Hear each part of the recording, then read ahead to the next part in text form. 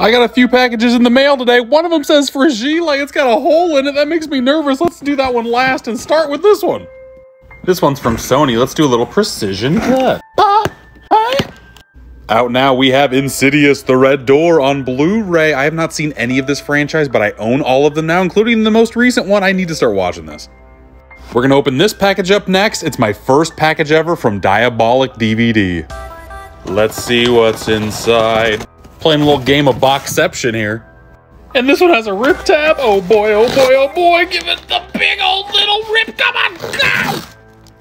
I knew when I saw the unveil for this set, I had to pick it up for myself. This is the Psycho 4K collection. Look at this freaking thing. It's a work of art. I will do an unboxing of this later on the channel. And now finally, let's do Mr. Fragile. Let's cut that box. Who packages stuff with like coloring paper? What? I wonder if this person was a parent and just threw out all the crap that their kids drew that was not great. All right, the envelope's out. Let's give it a little rip. Oh my god, one handed is hard. There we go. Ever since Bob's Blu ray showed me the Synapse Steelbooks on my podcast Boutique Talk, I've been obsessed with grabbing them. Here's one for Demons 2. There's artwork on every square inch of this release. I love it so much.